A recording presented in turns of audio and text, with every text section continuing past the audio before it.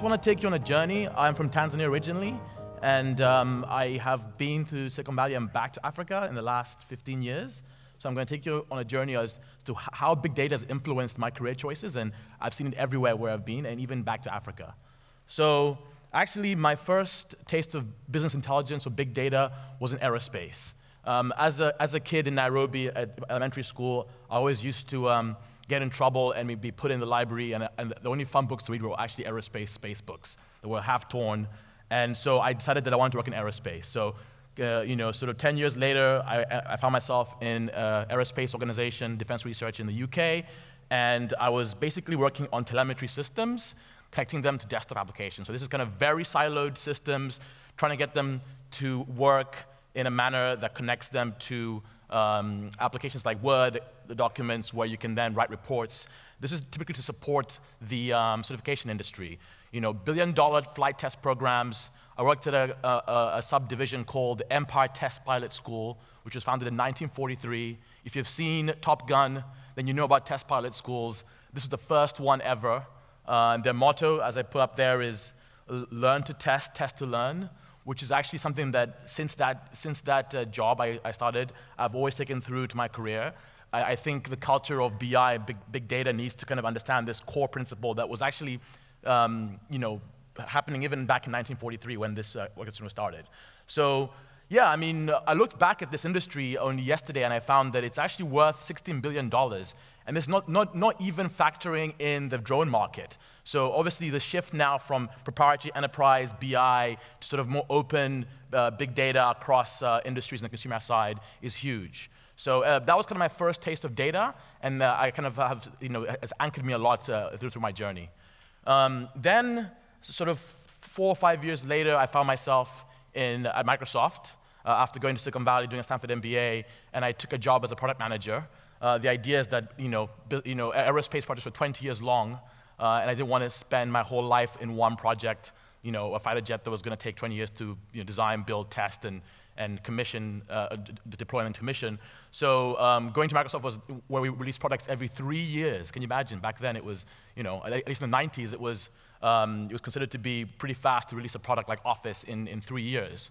Whilst uh, obviously at the same time, we had this cloud disruption where things were being released almost monthly, daily, with the sort of uh, shift into the cloud uh, uh sort of software as a service market. But back then, BI was seen as, uh, uh, Microsoft was seen as this thing that was, was too siloed in the CFO office or in the C-suite and needed to go more down to the information worker space. Um, the idea is that everyone had Excel, and I was a product manager for Excel, Access, and uh, Business Intelligence. Uh, a really interesting job because you're managing Excel, which is the most, you know, the most popular software application in the world, which everyone uses for BI, but also Access, which people are using less and less, uh, and was getting disrupted by companies like Salesforce in the cloud. So I, I called it managing the yin and the yang because everyone loved Excel, people kind of hated Access, uh, but also uh, IT hated Access the most because you have these rogue, you know, star employees in companies that would build these tracking applications on Access, and then there, would, you know, there was this worry about, you know, are they safe, are they secure, are they governed properly? So I, I, I put up a slide there of a chart I drew back then uh, at a conference called EuSpRIG, the European Spreadsheet, Spreadsheet Risk in, in Interest Group, which is a, a, group of folks in Europe who are concerned about the use of Excel and Access. Um, you know, they were causing problems, you know, as far as, you know, having you know, corrupt data in there, or you're having modelers who were making decisions that were very impactful in organizations. That were, you have to remember that this was also part of the, this was during the financial crisis time, right? So people were kind of wondering, you know, um, was business intelligence something that needed to be controlled and, and, and really sort of tightened down? So the, at that point, I think BI was taking off, mainly because um, people had sort of risks that they, they, they, could see in how data was being used in organizations and how they can be, get more of their organization.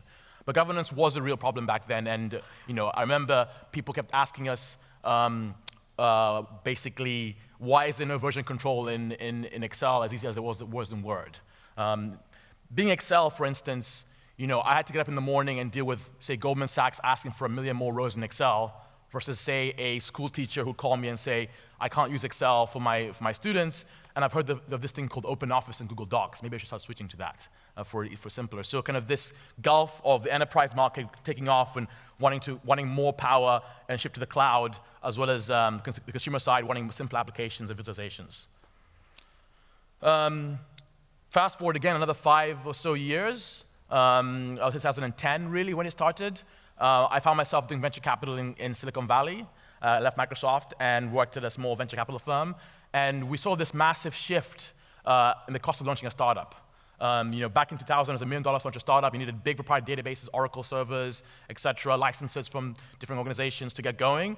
Right up in 2011, now you basically developers can start companies because you have Amazon Web Services, you have Facebook distribution platforms, and much more open, easy way to get started. And so this actually affected the industry I was in.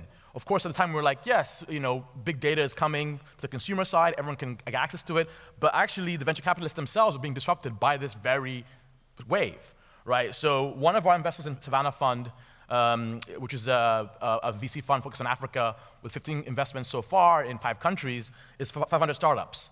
Um, they have now invested in 800 startups in four years um, globally. Uh, and so Dave McClure, who runs 500 Startups, if you know of him, he calls this the Moneyball for startups. The idea is that because the cost is so low, you can actually now and we've seen the emergence of startup ecosystems around the world, whether it's Cape Town, Nairobi, um, uh, India, China. Uh, it's actually uh, led to a creation of a new category of investors called micro VCs, which basically apply big data to startups. And one of the most exciting startups in Silicon Valley right now is a company called Mattermark, which allows you to track startups, you know, particularly when you combine it with companies like AngelList, um, and the, this model of accelerators, Techstars, Y Combinator, you can now start to like uh, get early signals on startups as a VC and make a lot of small bets across them and just look at the traction. And then the idea is that you follow on the winners. Um, so you know the you know the promise here is that because of open access data, you can track a startup's employee count on, on LinkedIn. Uh, you can track its unique visitors from, you know, um, if, if, they have a website or an app, you can track the app downloads on Google Play or, uh, or through other services for Apple. You can track um, the number of followers on Facebook.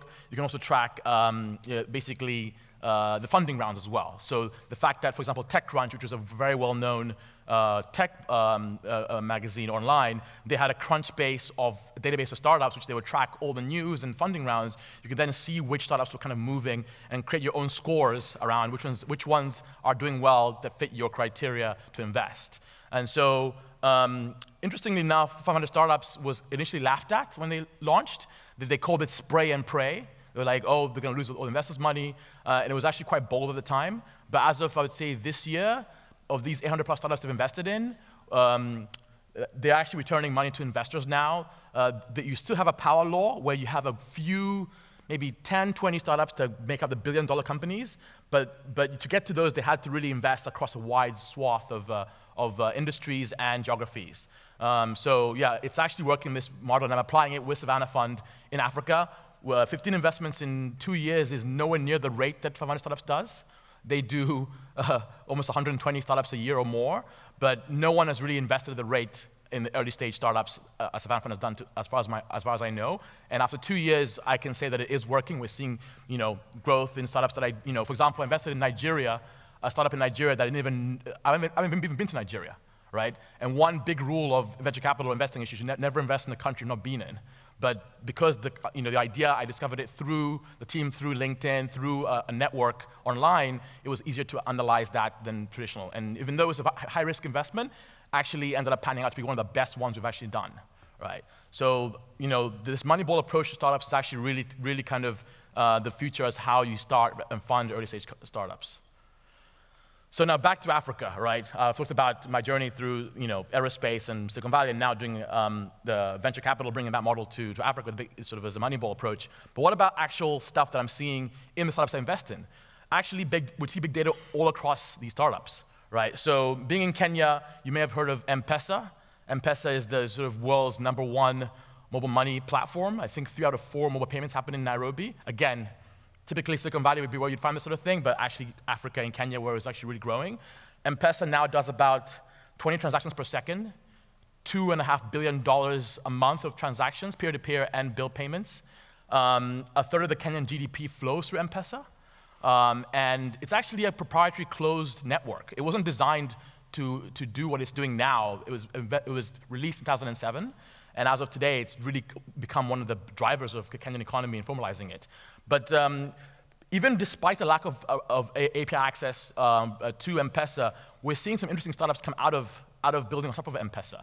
For example, uh, there's a company called MoDe, which stands for Mobile Decisioning, which uh, seeks to use airtime data and M-Pesa to determine uh, credit risk to make airtime lending.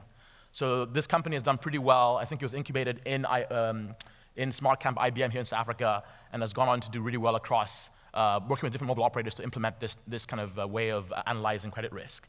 Uh, we've also seen it going a step further. We've seen it being, being used um, for energy asset leasing. So a company called M- which um, you know, is a solar company where just like how in the West or even here you can buy an iPhone on contract, you can start to um, lease or lend assets against the, this sort of credit risk model as well. So we know that uh, in Africa there's more access to mobile technology than, than there is electricity. Uh, and so energy access, in the, particularly in ur- semi-urban and rural, is really, really hard to come by. But they have mobile, mobile technology and they have M-Pesa. So why not be able to let? So I think you can, you can buy an M-Kopa solar unit for about uh, $10 or maybe 100 rand up front when it's actually worth more like a, 1,000 rand. And you can pay it off with M-Pesa remotely. But there's such a credit risk up front using, these, uh, using big data. Um, but, and then also one of our investments you know, I'll, I'll, talk about First Access, another interesting company in Tanzania where I'm from. Uh, First Access became the first company, uh, I think, in sub-Saharan Africa to create a credit bureau that um, works off mobile networks. So they connected to all four mobile networks in Tanzania. I think it's Zantel, Vodacom, Airtel, and Tigo. And they actually uh, allow microfinance loan officers to uh, assess credit risk and they, and they charge them a dollar uh, for each. Um, all, they have to do is ask for the person's number, and they can look up their airtime history and M-Pesa history or mobile payments history, and then, and then basically um, it gives a credit score, which they can then use to uh, make a decision on the lending. Um, one other area that I'm really passionate about is education. Obviously, we've seen the rise of Khan Academy, Coursera, and these companies, obviously, in the West have huge big data teams that analyze how students learn and help teachers be more effective. We're seeing this also in Africa. One of our investments in Eneza Education does quizzes over mobile um, to elementary school students and uh, are able to then personalize that. They have about 60,000 subscribers in Kenya, and they're also using mobile networks to uh, kind of reach those, um, those uh, uh, students. Of course, we know where we are now, there's a sort of interesting time ahead with the, you know, the rise of sort of, uh, sort of uh, deep learning, cognitive computing, Obviously, you, probably some of you have heard of the Watson computer by, by IBM, which is um, uh, allowing much easier pattern recognition. But I think you can't really have some of these technologies really reach scale unless you start to change how query is done with user interfaces. So the rise of things like Siri in iPhones or Cortana with Microsoft are making it easy for you to query and ask questions and get the right insights and answers. Um, so I think we're going to start seeing a lot of this, particularly as smartphones become cheaper in Africa. I think we're now reached about $30, $40 a smartphone. If you can imagine someone who maybe can't read in sub-Saharan Africa can use a smartphone using an interface like Siri or Cortana to ask a question and get an answer. So I think we're going to see some huge innovations around maybe healthcare, where maybe a health worker in, say, Uganda, who is, you know, there's the lack of doctors there to, you know, to do um, uh, work in the medical sector, maybe the health worker can actually query using something like Siri or Cortana on a cheap smartphone to, to help them decide or be more informed about the actions they take as a, as a medical worker. Um, so just I want to end with the fact that what are the challenges for Africa in general uh, with this? Uh, I've talked a lot, a lot, about mobile networks in Africa. I actually think that they are still not uh, open enough. Um, I recently learned that um, the UN and the G, uh, global, uh, GSMA, the Global Standards Model Association, failed to get mobile operators in Sierra Leone and Liberia to release data to help healthcare data scientists track patterns of movement for Ebola, the Ebola virus. Because they were using old, stale data from like the 1980s about how people travel in those countries. And the, the, for privacy and commercial reasons, mobile operators refused to give this data out, which would have really helped uh, track the flow of Ebola, uh, you know, um, just by analyzing uh, the data there. So I'm really worried about that. Obviously, we're, we're, we're going to hear a lot about this today about the lack of data scientists in Africa. We need to develop more of those. Um, but I do think we will start to see a lot of the top data scientists uh, in the world, whether it's from Silicon Valley or here, attack really good problems in Africa where they see an, a big impact. You know, my, my, my, my call to action here is that we should not be spending our time using big data to get better selfie apps with Facebook or Instagram and Snapchat. We should be using it to solve real problems. And of course, affordable internet access. That's the other big thing. I have the graphic on the right there that shows that um, Facebook is a dark continent. Sorry, Facebook shows that Africa is still quite dark, but we're seeing companies like Facebook, Google invest in getting uh, more internet access because I think this is also going to be important to, to allow more open access to, uh, to, the, uh, to the masses in Africa. And that's it. Thank you.